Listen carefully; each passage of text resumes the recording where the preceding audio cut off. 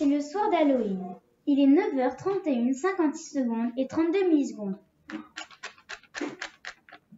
Alexandre Acula, un jeune garçon âgé de 11 ans, mi-foussard, mi-courageux, ça dépend des circonstances, très gourmand, sort de sa maison déguisé en grosse citrouille à la recherche de bonbons.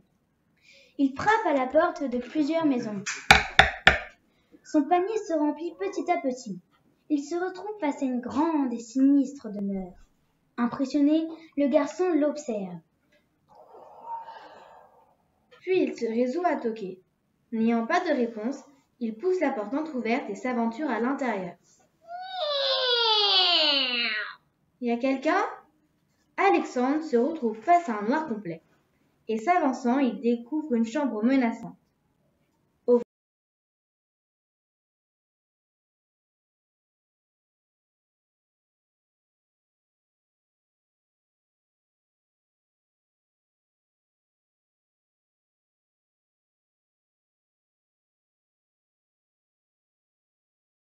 Au fond se trouve un miroir sans glace.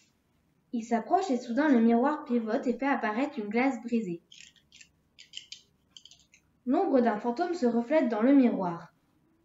Glacé de peur, le jeune adolescent se retourne, mais l'intrus demeure invisible. Il entend une voix qui chuchote. La pièce se met à trembler. Les objets tombent et un à un se fracassent contre le sol. Alexandre court à perdre haleine et le fantôme le poursuit.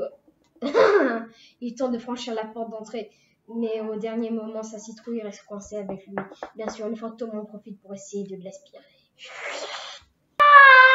Au secours Et se réveille assis dans son lit, transpirant énormément. Son petit frère déguisé en fantôme déboule dans sa chambre en criant Joyeuse fête d'Halloween